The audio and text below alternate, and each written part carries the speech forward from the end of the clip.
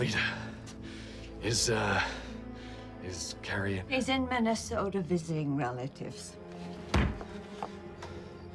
What's wrong with him? Has he lost weight? What are you talking about? I've lost 100 pounds. That's spelled with a, uh, a one and two zeros. It was the gypsies, wasn't it? What do you mean, gypsies? Did he touch you? Did the old man touch you? What does that have to do with... Come on in, Billy.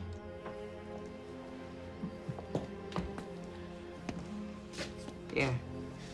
You'll need this.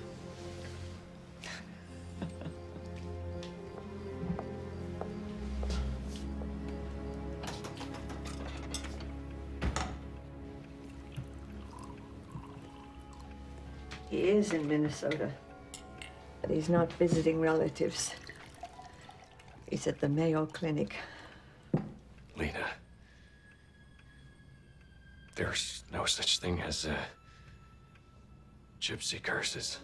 Who are you trying to convince, me or yourself? He came up to us as we were coming out of La Zupas, that place over in Milton.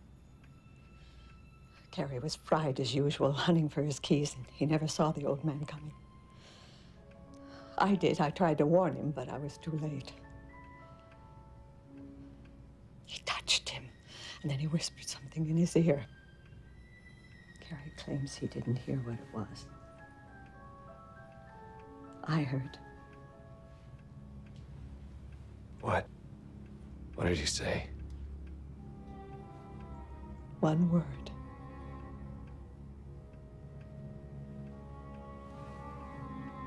Lizard. His skin is plating, turning into scales. His evolution in reverse. A sideshow freak. Oh, Jesus. HR did a plane to take him to the Mayo. Did I tell you that? Because he can't bear to have people look at him. At the end, before he left, his hands were like claws.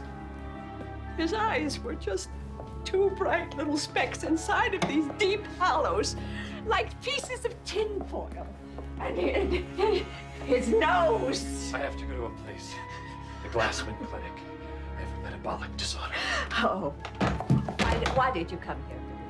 Why did you come here looking for my husband? I just wanted to compare notes, that's all. Uh, God, what did he say to you? What did the old duck say to you? Nothing. Nothing. I don't believe that. You know what I do believe? I believe it's all your fault if you hadn't hit that old lady. You were the one that hit her.